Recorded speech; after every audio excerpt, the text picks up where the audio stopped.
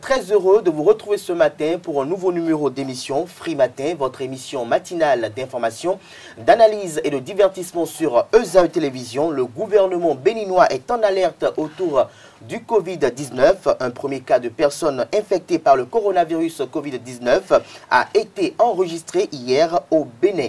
L'annonce a été faite par le ministre de la Santé Benjamin Hunkpati. Le, le malade serait un Burkinabé âgé de 49 ans, arrivé au Bénin depuis le 12 mars dernier. Le malade a séjourné en Belgique puis au Burkina Faso avant de venir au Bénin. Mis en quarantaine, son état est stable et les personnes ayant été en contact avec lui au Bénin, tout comme au Burkina Faso, sont vivement recherchés. Les parutions de ce matin annoncent à cet effet la tenue d'un conseil des ministres extraordinaire ce jour. Aussi, les confrères de la presse écrite informent des préparations des partis politiques à divers niveaux pour les élections communales et locales du 17 mai prochain. Nous y reviendrons plus en détail dans un instant à travers la présentation de quelques-unes de quotidiens parus ce matin sur l'ensemble du territoire national. Dans le bulletin matinal d'information à suivre, la déclaration du ministre de la Santé suite à la détection d'un cas de, coronavirus au Bénin. À suivre également les mesures prises par le gouvernement français en vue de contrer la propagation du coronavirus sur son territoire national. À suivre le compte rendu de la première phase du concours d'art oratoire baptisé Je maîtrise les textes de mon pays. Dans la rubrique décryptage de l'actualité avec Carl Kitomé, nous reviendrons sur la détection d'un premier cas de coronavirus au Bénin et les mesures préventives à observer. Dans la page des sports, nous nous intéresserons au 15e championnat d'Afrique de gymnastique junior et senior. Le Bénin termine deuxième derrière l'Égypte, le pays hôte avec une vingtaine de médailles mais perd ses titres. Larios Adjagueno nous parlera également basketball. Une semaine après la fin de, des matchs allés, la Super League a enchaîné ce week-end avec la phase retour. Juste après la page des sports, à suivre les prévisions astrologiques de ce mardi 17 mars de l'an 2020, Rose Alabé nous rejoindra en fin d'émission pour la présentation de la rubrique trucs et astuces. Bienvenue à tous, bonjour. Tout de suite, la une de quelques quotidiens parus ce jour sur l'ensemble du territoire national. Bonjour à nouveau chers amis internautes, nous démarrons comme à l'accoutumée par la manchette de l'informateur qui a titré ce matin lutte contre le coronavirus par l'administration Talon. Un cas détecté, réplique immédiate du dispositif, l'état clinique du malade burkinabé stable et rassurant. Des précisions à la page 3 de la parution de ce matin de l'informateur communal de 2020 à Cotonou, les raisons qui militent pour le choix de Luc Setondiatropo vous sont publiées dans les colonnes de la parution de ce matin de l'informateur lutte contre le coronavirus. La Cour constitutionnelle suspend ses audiences jusqu'à nouvel ordre. L'oreille droite de la une de l'informateur nous invite à découvrir dans les colonnes de sa parution de ce matin le journal École des étudiants en journalisme à l'école supérieure d'administration d'économie de journalisme et des métiers de l'audiovisuel ESAE. Le Béninois libéré ce matin en deuxième titre à la une, entretien avec le député Robert Guian du bureau politique du parti politique Bloc républicain. Les observations faites au BR par la Commission électorale nationale autonome Sénat ne sont pas du genre à nous inquiéter, à nous inquiéter, a-t-il laissé entendre sur l'émission Actu Matin de Canal 3 Bénin hier. Le compte rendu de son intervention vous est publié dans les colonnes de la page de ce matin du quotidien Le Béninois libéré. Fraternité en manchette ce matin. Premier cas de coronavirus confirmé au Bénin. L'heure est grave selon le confrère Conseil extraordinaire du gouvernement ce jour. Tout savoir sur le plan d'auto-isolement, état des lieux de la pandémie dans le monde. Les recommandations du docteur Célestin Alexis Akbissi vous sont publiées dans les colonnes de l'apparition de ce matin du quotidien Fraternité. Nous passons à présent au quotidien Point Média Covid-19. Nécessité de prendre d'autres mesures urgentes, invite le confrère ce matin en manchette. Nous passons à présent à l'accroche qui a titré ce matin en manchette. Détection d'un cas de coronavirus à Cotonou. Le gouvernement prend le taureau par les cornes ce jour. Tous les ministres autour du chef de l'État au palais de la Marina. Le matinal en manchette ce matin lutte contre le blanchiment de capitaux et le financement du terrorisme, le président de la CENTIF a cœur ouvert sur les réformes. Des détails aux pages 9 et 11 de la parution de ce matin du canard. Coronavirus, attention, danger, s'exclame le matinal ce matin à la une. Un premier cas détecté au Bénin. Les pouvoirs publics mobilisés. Plus de détails aux pages 2 et 4 de la parution de ce matin du quotidien Le Matinal. Nous passons à présent au quotidien national d'information qui titre en manchette ce matin, gouvernement en alerte autour du Covid-19, conseil extraordinaire des ministres ce jour, des précisions aux pages 2, 3 et 5 de la parution de ce matin du quotidien de service public. La Nation, lutte contre le blanchiment de capitaux et le financement du terrorisme, de pertinentes avancées sous l'impulsion de la CENTIF, des détails dans les colonnes de la parution de ce matin du quotidien de service public La Nation municipale en France. Le second tour reporté à cause du coronavirus nous apprend la une de ce matin du quotidien L'autre vision. Toujours la une de l'autre vision de ce matin, prévention contre le coronavirus. Le gouvernement suspend les voyages officiels dans l'administration publique. Des précisions à la page 3 de la parution de ce matin du quotidien L'autre vision. Nous restons toujours à la une de l'autre vision de ce matin, lutte contre le blanchiment de capitaux, le financement de terrorisme. La CENTIF Bénin opte pour la mise en œuvre complète du plan d'action issu du rapport de l'évaluation nationale des risques. À lire les explications du président Thomas Azandosessi à la page 2 de la parution de ce matin du quotidien L'autre vision. Le challenge en deuxième titre à la une ce matin, le gouvernement au campus, le ministre Alain Orunla a échangé avec les étudiants de l'université d'Amon et Calavi sur le programme d'action du gouvernement. Plus de détails à la page 3 de la page de ce matin du quotidien. Nous passons à présent à Le Confrère de la matinée afin de pérenniser ces activités, fidéliser ses patients et renforcer la communication, le Centre national hospitalier universitaire Hubert Kutukumaga se dote de nouveaux outils modernes d'organisation. Le CNHU reste un centre de référence en matière de soins hospitaliers, dit son directeur général Alexandre Kofi Dossou. Des précisions dans la colonne de la parution de ce matin du quotidien Le Confrère de la matinée. Et matin libre pour mettre un terme à la une des journaux de ce matin. Coronavirus, le Bénin touché, un premier cas confirmé. Conseil des ministres ce jour, nécessité de rendre obligatoire l'auto-isolement, alerte, indifférence au niveau des frontières. Des précisions aux pages 5 et 9 de la parution de ce matin de Matin Libre. Toujours à la une de Matin Libre de ce matin, communal de 2020, calvaire du dépôt des dossiers. L'Union progressiste et le BR goûtent à leur sauce. Des précisions à la page 2 de la parution de ce matin du quotidien Matin Libre. Feu tricolore à minuterie. Aucune signalisation pour piétons. Des détails à la page 9 de la parution de ce matin de Matin Libre. Ce sera tout pour la présentation de quelques-unes de quotidiens parus ce matin sur l'ensemble du territoire national. Les quotidiens sont disponibles dans les kiosques au prix de 300 francs CFA. Ils sont également disponibles en ligne. Nous passons à présent au bulletin matinal d'information sur Free Matin. Dans l'après-midi de ce lundi 16 mars 2020, à travers un point de presse, le ministre de la Santé Benjamin Humpati a annoncé la détection d'un premier cas de coronavirus Covid-19 au Bénin. Face à cette situation, le ministre invite la population à ne pas céder à la panique. Selon l'autorité ministérielle, toutes les dispositions sont prises pour une gestion optimale du cas détecté et un contrôle strict de la propagation de l'épidémie du coronavirus Covid-19 dans le pays. Il a profité de l'occasion pour inviter au respect des mesures de prévention. Je vous invite à suivre l'intégralité de sa déclaration de presse rendue publique hier. Aux premières heures de ce lundi 16 mars 2020, les analyses effectuées au laboratoire de référence des fièvres virales hémorragiques de Cotonou ont confirmé le diagnostic du Covid-19 sur un échantillon provenant d'un cas suspect suivi sur le site d'isolement et de prise en charge de Cotonou. Le Bénin vient ainsi d'enregistrer un cas d'infection au coronavirus COVID-19.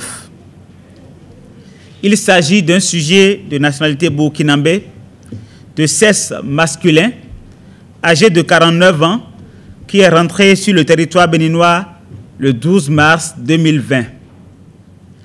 En retraçant l'itinéraire suivi par le sujet, il est apparu qu'il a quitté le Burkina Faso le 21 février 2020 et a séjourné durant 11 jours en Belgique. Il est retourné au Burkina Faso le 4 mars et y est resté durant 8 jours jusqu'au 12 mars 2020, date à laquelle il est rentré sur le territoire béninois par voie aérienne. Après avoir vaqué à ses occupations professionnelles les jeudis 12 et vendredi 13 mars 2020, sans respecter les mesures d'auto-isolement prescrites à l'aéroport, il a présenté des signes cliniques à type de rhume, toux et fièvre, signes l'ayant motivé à réaliser des bilans biologiques dans une clinique le 14 mars 2020. Devant l'absence d'éléments biologiques objectivables, il s'est rendu sur le site d'isolement et de prise en charge de Cotonou le 15 mars 2020 à 9h30 où un prélèvement nasopharyngé a été immédiatement réalisé. L'état clinique du patient est stable et rassurant et il bénéficie d'une prise en charge adaptée sur le site. Les personnes ayant été en contact avec le sujet sont en cours d'identification au Bénin comme au Burkina Faso et feront l'objet d'un suivi rigoureux. Je voudrais, en cette circonstance particulière, rassurer et appeler au calme et à la sérénité toute la population béninoise. Les mesures sont prises pour une gestion optimale du présent cas et un contrôle strict de la propagation de l'épidémie au coronavirus Covid-19 dans notre pays. Une fois de plus, j'invite la population à observer strictement les mesures d'hygiène en vigueur et largement diffusées et je demande instamment au sujet de retour de voyage d'un pays touché d'observer scrupuleusement les mesures d'auto-isolement. Chacun de nous détient la clé de la protection des autres, à commencer par celle de ses proches. Il nous faut donc faire preuve de responsabilité car le respect par tous des différentes mesures de prévention est le garant de notre sécurité commune. Enfin, j'invite les agents de santé à davantage de rigueur dans l'observance de toutes les mesures de prévention des infections. Le groupe Jeunes Juristes engagés pour la promotion du droit GED a organisé la première phase du concours d'art oratoire Je maîtrise les textes de mon pays le samedi 14 mars 2020 à la salle de conférence de la chaire UNESCO des droits de la personne humaine et de la démocratie. À l'issue de cette phase, le jury présidé par le secrétaire général de la Cour constitutionnelle, le docteur Gilles Badet, a identifié les demi-finalistes. Selon seule l'équipe Espérancia de l'INAM quitte la compétition Carles y était et voici le compte rendu.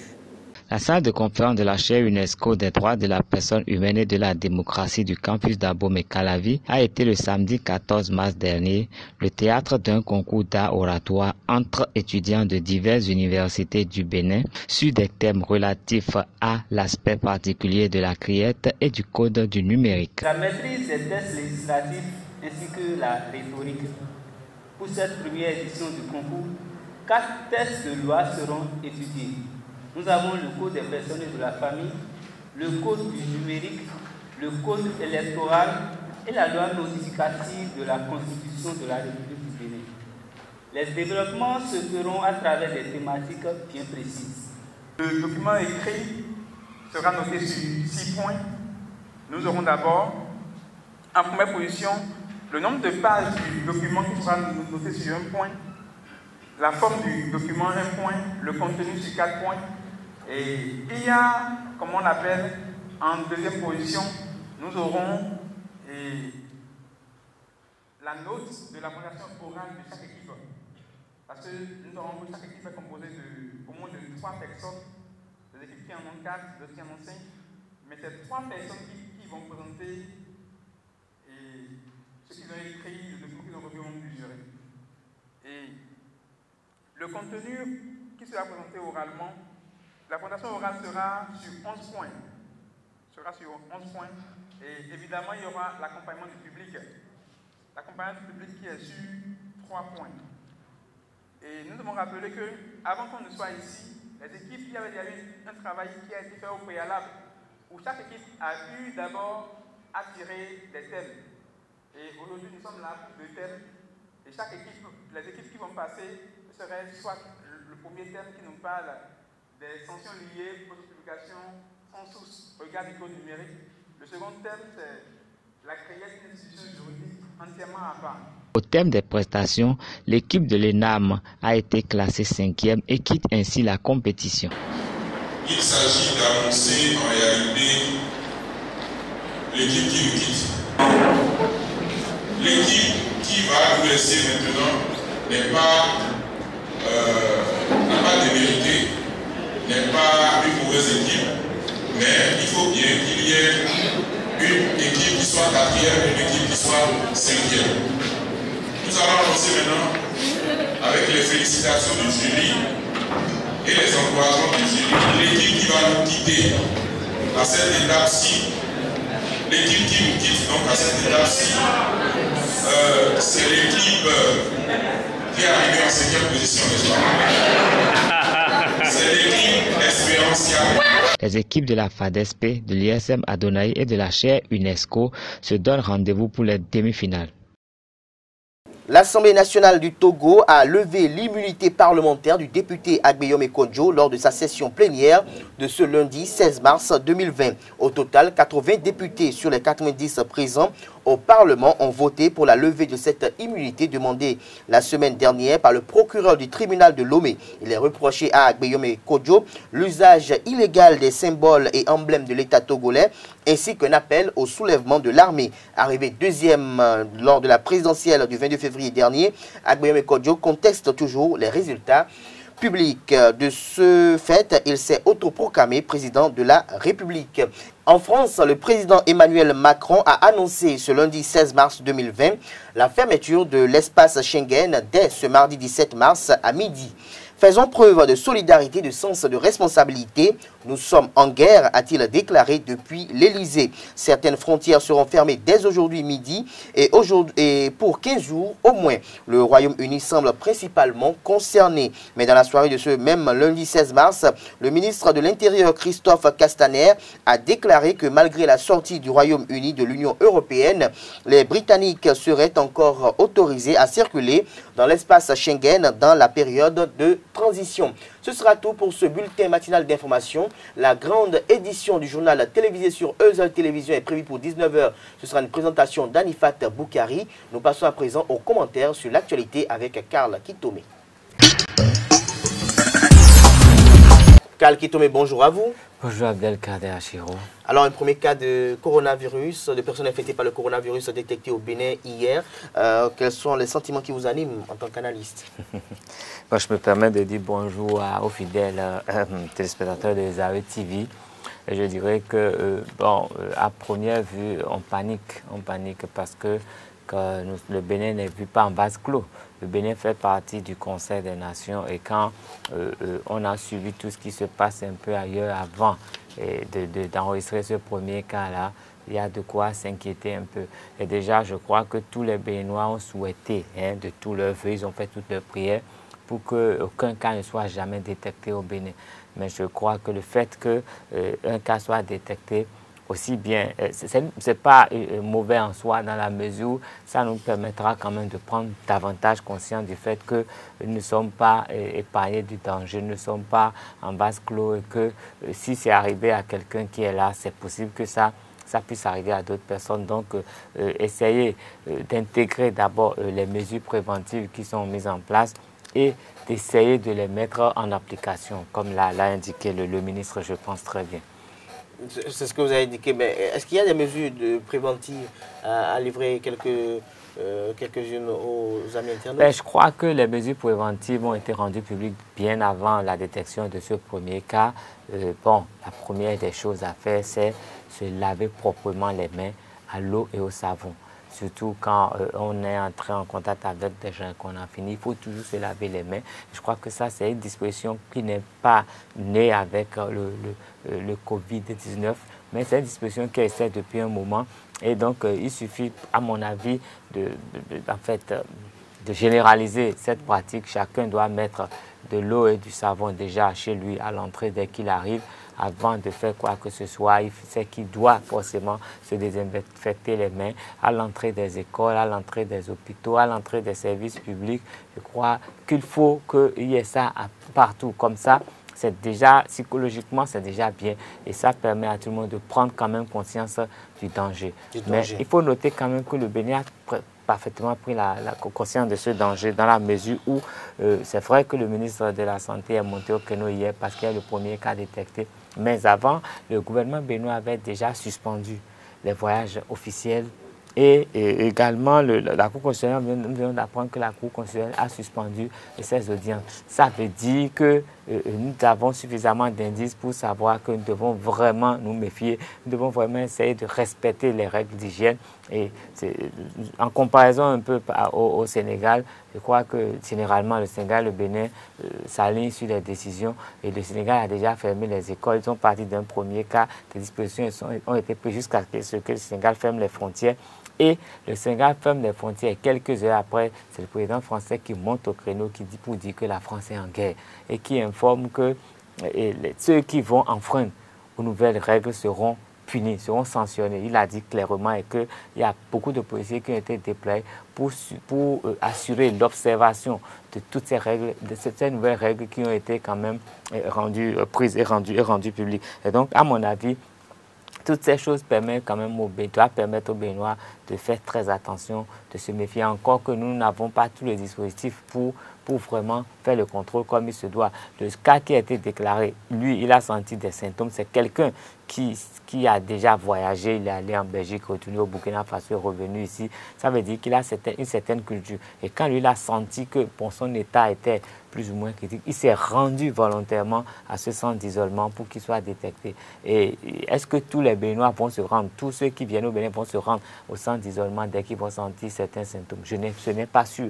Parce qu'il faut tout de suite que tu savez, chez nous, quand il y a un mal qui vous prend et que ce mal-là devient grave en peu de temps, que ça emporte, on pense à la sorcellerie. Donc, il faut que les gens puissent savoir qu'aujourd'hui, il y a des choses qui sont peut-être aussi dangereuses ou plus dangereuses que, que la sorcellerie et qui se propagent euh, en, un rien de temps. Et donc, euh, si on ne prend pas conscience, moi, je, ne sais pas, hein, déjà, nous avons lu dans les journaux qu'au au niveau de nos frontières, des dispositions ne sont pas prises. Lui, il est rentré par l'aéroport. Pourtant, ce qui est arrivé est arrivé. Et tous ces gens-là qui voyagent dans des camions, tous ceux-là qui voyagent au-dessus des bœufs, depuis la frontière burkinabé jusqu'à Cotonou, et quand ils sentent les mots, qu'est-ce qu'ils font? Ils font boire des comprimés achetés chez les bonnes dames au, bord de la voie. Je crois que euh, c'est quand même une situation qui nous oblige à nous prendre un peu, un peu plus conscience et à savoir qu'aujourd'hui, la toux, euh, la grippe, le rhume, euh, ce n'est plus, la, grippe ne sont plus des mots aussi bénis qu'on le disait, parce que ça peut entraîner autre chose. Donc dès qu'on a une toux, la grippe ou, je ne sais pas, hein, le rhume qui persiste une journée, qui, on prend les médicaments qui s'aggravent un peu trop, il vaut mieux essayer de voir de ce côté-là. Sinon, je crois qu'au au Bénin, dans notre disposition, je ne le souhaite pas, mais il est plus probable que des gens meurent dans l'anonymat. Mais en mourant comme ça, ils auraient contaminé leurs proches, leurs proches parce que les gens auront peur d'aller à l'hôpital. On ne veut pas sortir 1000 francs, 2000 alors qu'il y a danger. Les écoles sont fermées euh, euh, dans d'autres pays. Et quand nous observons un peu l'information, ce qui se passe, même la position du Royaume-Uni a, changé.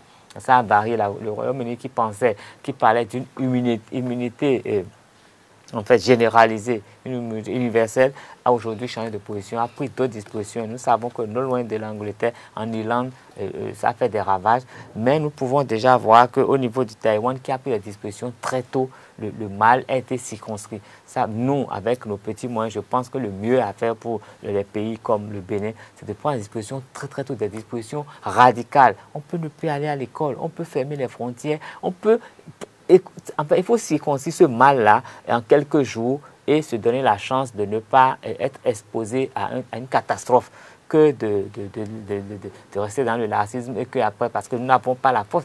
Les Italiens ont dit eux-mêmes qu'ils n'ont pas la force de construire un hôpital en 10 jours comme les Chinois.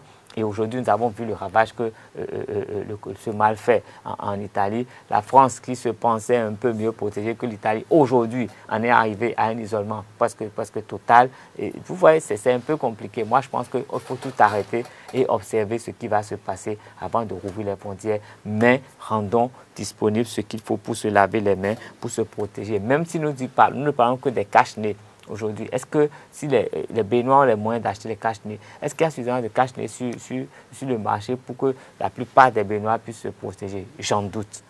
donc pour moi, c'est prendre... Et puis j'espère que le Conseil des ministres de, ce extraordinaire de ce jour prend une disposition idoine pour que le match soit circonscrit au. Le Burkina Faso, c'est à côté, ils ont déjà 8 cas aujourd'hui. Et c'est de là que nous avons reçu notre premier cas. Donc euh, nous sommes exposés à beaucoup de choses. Nous sommes exposés à beaucoup de choses. Nous allons suivre de très près la séance extraordinaire du Conseil des ministres qui se tiendra ce jour. Mes chers amis internautes, retenez que le gouvernement béninois recommande de prendre les précautions suivantes pour éviter les infections au coronavirus. Il s'agit de se laver les mains fréquemment à l'eau et au savon ou avec une solution à base d'alcool. Éviter de cracher et de se moucher sur le sol. Se couvrir la bouche et le nez avec un masque médical, un mouchoir en papier ou le creux du bras lorsqu'on tousse ou éternue. Puis jeter le masque au mouchoir et se laver les mains. Si l'on porte un masque facial, s'assurer de bien couvrir la bouche et le nez éviter de toucher le masque qui est en place, le jeter immédiatement après utilisation s'il est à usage unique et se laver les mains aussitôt après, éviter tout contact étroit non protégé avec des personnes ayant la fièvre et la toux et consulter un médecin en cas de fièvre et en cas de fièvre, de toux et de difficultés respiratoires. En cas de maladie pendant le voyage, informer le conducteur ou l'équipage, consulter un médecin sans tarder et partager ses antécédents de voyage. Et dernière recommandation ou précaution, éviter tout contact direct non protégé avec des animaux sauvages ou d'élevage et des surfaces en contact avec des animaux. Chers amis internautes, cette émission se poursuit. Nous passons à présent à la page des sports où nous allons installer Larios Adjagbeno. Bonjour amis internautes, heureux de vous retrouver après le rendez-vous manqué euh, du lundi. Euh, le Bénin euh, revient des championnats d'Afrique junior et senior de gymnastique 2020 en Égypte avec une moisson de 18 médailles euh, dont 8 en argent et 10 en bronze. Même si les écureuils gymnastes ont perdu euh, leurs trois titres, euh, ils ont mieux fait que lors de la 14e édition de ces championnats d'Afrique au Congo-Brazza. lors de l'édition précédente, le Bénin avait ramené 10 médailles au Bécaille. nous poursuivons cette page sport avec euh, du basketball, la balle au panier. la Super League de basketball euh, a connu euh, sa sixième journée le week-end dernier avec les mêmes qui ditent leur loi aux autres formations engagées dans cette première édition de la Super League du Bénin. Entendez, champion national de basketball de première division euh, sur le paquet du Hall des Arts, Loisirs et Sports euh, de Cotonou. Euh, L'ASPAC a dominé Renaissance Basketball Club de Cotonou, tant en hommes qu'en dames. chez les dames, c'est une victoire nette et sans bavure de 54 de 80, de 80 à 54, tandis que euh, chez les hommes, euh, les portiers ont pris le dessus euh, sur le score de 78 à 65. sur le, les mêmes installations, sur le même paquet du Hall des Arts, Loisirs et Sports de Cotonou, c'est Espoir Basketball Club de Cotonou qui chute devant Elan les vice-champions du Bénin ont battu le dernier au classement de la Super League, 78 euh, à 43. Avant de boucler cette page sport, nous allons revenir sur les résultats de la, du, 9e journée de la Vitalor Ligue 1 ainsi que euh, ceux de la 20e journée de la Vitalor Ligue 2. Eusaya Football Club en Vitalor Ligue 1 a réalisé l'une des plus belles opérations euh, de la journée en disposant de la jeunesse athlétique de Cotonou, un but à deux. Voici le reportage. Gagner pour revenir à un point du fauteuil du leader et consolider sa deuxième place au classement. Marcel Dandinou et ses coéquipiers ont relevé le défi en disposant de la jeunesse athlétique de Cotonou-Jacques, deux buts à un. Après une domination stérile en première période, les universitaires ouvrent le score à l'entame de la seconde mi-temps sur un bolide de Eric Sewa sur un coup franc des 20 mètres. Quelques minutes plus tard, les protégés de Richard Bior sauf le but du break. Un autogol de Thierry Ahover sous la pression de Fahadou Touré, entré en jeu quelques minutes plus tôt. Ce fait de jeu révèle les coéquipiers de Steve Glodino. Ils vont pousser et réussir à réduire le score à 2 buts à 1, ce qui le galvanise davantage. Cependant, ils ne parviennent pas à égaliser malgré les multiples assauts sur les buts de Marcel Dandino. C'est toujours mal quand tu perds des points. Mais bon, écoutez, hein, il y a encore des matchs qui viennent. On va toujours se le dire, mais par contre, il faut, il faut les gratter. Ah, c'est perdu, c'est que c'est perdu. Hein. Il faut penser au prochain, il faut, il faut doper le moral aux enfants, et qu'ils comprennent que rien n'est facile. En face, malgré une fin de match difficile, les universitaires auraient pu tuer le suspense sur une contre-attaque. Servi idéalement par Alfred Limpon, Yushao Idrissou, Ratsa reprise au grand regret de son entraîneur. C'était un beau match, un match qu'on devait tuer dès la reprise. Ce qu'on a fait en marquant deux buts. Vers la fin, on a, on a douté un peu, ce qui a permis à l'adversaire de revenir au score. Vous savez, dans ce genre de situation, c'est souvent compliqué vers la fin parce que l'adversaire qui n'a plus rien à perdre sort pour aller jouer. Et là, on, on est obligé de jouer sous pression. Mais dans cette situation, on aurait pu scorer été la maladresse de notre avancante, on, serait, on aurait pu tuer le match depuis. Mais dans l'ensemble, il faut reconnaître que trois points, c'est du positif. Grâce à ce dixième succès, Richard Bio et ses hommes profitent des faux pas du leader Aïma FC et du troisième Buff FC, tous deux battus la veille. Et la course est lancée, vous savez, nous, comme je vous l'ai toujours dit, nous prenons les matchs les uns après les autres. Et puis, si une occasion nous est offerte d'aller chercher le titre, on ira le chercher. Mais il reste beaucoup de matchs. Usaï Football Club revient à une longueur du fauteuil de leader avec 35 points au compteur. Le club universitaire relève par la même occasion Buff FC son poursuivant à 5 unités. Dans les autres matchs euh, de cette 19e journée de la Vitalor euh, Ligue 1, euh, Aïma a essuyé un deuxième revers de rang face à l'Est un but contre deux. Euh, pourtant, le, club du peuple euh, a, réduit tôt euh, à 10 lors de cette rencontre dès la deuxième minute. un carton rouge pour l'un de ses défenseurs. Buff également s'est incliné face au Dragon. deux buts à zéro. UPONM a enregistré sa deuxième victoire de la saison euh, face à Real Sport, euh, deux buts à Euh, la première victoire remonte à la 14e journée de la Vitalor Ligue 1 et c'était contre les Buffs FC. victoire des protégés du président Valek Kaïg un but à zéro. C'était déjà au campus d'Abomey Calavi, euh, l'Union sportive de Semen-Craqué euh, continue de sombrer euh, lors de cette saison. les Craqué Boys ont été défaits à, à de Djougou par Panther sur, une score, sur un score large de 4 buts à 0. en Vitalo Ligue 2, les requins FC de l'Atlantique poursuivent leur bonne forme euh, face à Taneka. Euh, ce dimanche, les Awisiwasa ont battu euh, les Djougwa un but à 0, tandis que le duel au sommet de cette Vitalor Ligue 2 a tourné à l'avantage de Entente de Candy, le promu qui a battu un éternel candidat à la montée, Espoir de Savalo, pour prendre seul les commandes de cette euh, Vitalor Ligue 2. Victoire, un but à zéro des joueurs de Candy.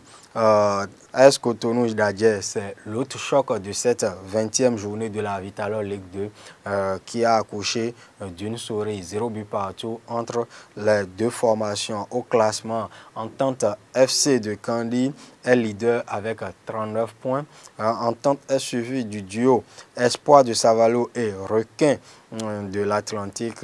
les deux clubs disposent du même nombre de points, 36, avec un meilleur goal à virage pour euh, Espoir, de, Espoir de Savalou qui dispose d'un goal à virage de plus 15 en bas du, classement.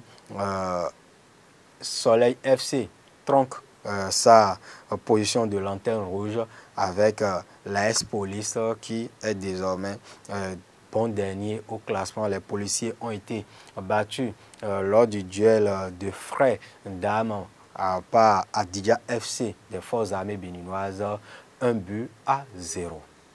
Merci à vous, Larissa Diagonon, pour la présentation de cette page des. On vous retrouve à 19h dans la grande édition du journal télévisé sur ESAE Télévision avec quelques capsules. Nous passons à présent aux prévisions astrologiques du jour sur Free Matin.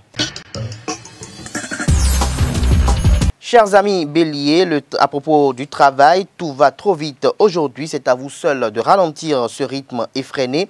En amour, vous ne serez pas spécialement de, de bonne humeur et votre entourage en fera les frais. Essayez de contrôler vos émotions. Taureau, côté humeur, la sérénité vous gagne. En ce qui concerne l'argent et le travail, vous n'avez pas la tête à ce que vous faites. Essayez de vous concentrer le plus possible afin d'obtenir de bons résultats. En amour, vous vous sentez bien entouré et cela vous enchante. Chers amis Gémeaux, côté travail, vous aurez un jugement très rapide et sûr. Profitez-en pour procéder à une mise au point de tous vos projets. En amour, les portes de votre maison sont toujours ouvertes pour les amis, mais attention à votre union qui risque de souffrir de votre attitude un peu insouciante. Chers amis cancer, à propos de l'amour, vous ne saurez pas, vous ne saurez pas prendre avec pincette certaines choses et votre partenaire aura bien du courage à essayer. Côté travail, laissez vos états d'âme au vestiaire et n'ayez qu'un objectif, donner le meilleur de vous-même. Lion à présent en amour, attention aux coups de cœur éphémères. Les apparences sont parfois trompeuses par rapport au travail. Vous mettrez toutes vos énergies à vous débarrasser de quelques problèmes avant de pouvoir vous relancer. Vierge, en amour, vous vous sentirez vous vous sentirez prisonnier des sentiments que vous éprouvez à l'égard de votre partenaire. Côté travail, l'ambiance est bonne au bureau. Vous vous sentez calme et léger. En bref, tout va bien. Natif du signe balance, en amour, ne trichez pas. La sincérité est nécessaire pour Ciblez les questions qui vous tiennent véritablement à cœur. Vous devez apprendre à être honnête avec vous-même. Côté travail, admettez que vous n'êtes pas suffisamment motivé pour être performant. Chers amis scorpions, en amour, votre partenaire sera très pris par son activité professionnelle et pourra sembler vous abandonner. Il n'en est rien. Laissez-lui le temps et prenez patience. En ce qui concerne le travail, attention à ne pas commettre des erreurs de jugement pour excès de confiance en vous. Sagittaire, à propos de l'amour, vous partez participerez volontiers à la vie de famille côté travail. Des contretemps risquent de vous freiner dans votre élan. Difficile de donner le meilleur de vous-même dans ce climat tendu, chers amis Capricorne. En amour, vous aspirez à plus d'indépendance et votre partenaire le ressent. À propos du travail, vous ferez, vous ferez preuve de maturité et prendrez des mesures qui vous permettront de mieux vous organiser. Verso à présent, célibataire, vous pourriez avoir une amitié qui prendra un chemin plus intime. En couple, la tendresse sera très présente. Côté travail, le travail ne vous manquera pas. Ce n'est pas une raison pour vous laisser déborder et baisser les bras. Enfin, poisson, célibataire, ce pourrait être une journée explosive sur le plan sentimental. À propos du travail, le secteur du travail se prête à toutes les espérances de succès et de reconnaissance. C'est tout pour l'horoscope de ce jour. Merci pour l'attention, chers amis internautes. Nous passons à présent à la dernière manche de cette émission, la rubrique Trucs et astuces avec Rose Alagbi. Amis internautes, bonjour et bienvenue dans votre rubrique Trucs et astuces. Aujourd'hui, nous vous proposons de la camonie contre les courbatures. Reconnue pour son effet apaisant, elle se consomme en tisane avant de dormir. Réalisez une décoction de camomille romaine que vous aurez diluée dans un litre d'eau froide avant de porter le tout à ébullition et de verser votre potion une fois refroidie dans un bon bain chaud.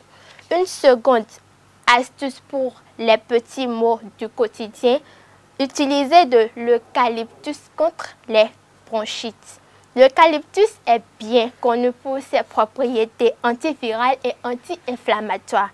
De manière très naturelle, vous pouvez vous-même fabriquer une potion contre la toux, la grippe ou la bronchite. Pour ce faire, ajoutez 3 gouttes d'huile essentielle d'eucalyptus dans un, dans un bol très chaud et respirez la vapeur pendant quelques minutes. N'hésitez pas à réitérer cette opération plusieurs fois par jour. Amis internautes, c'est tout pour les trucs et astuces de ce jour. Merci de nous avoir suivis et à demain. Ainsi se referme Free Matin de ce matin. Merci pour l'attention chers amis internautes et à demain pour un nouveau numéro.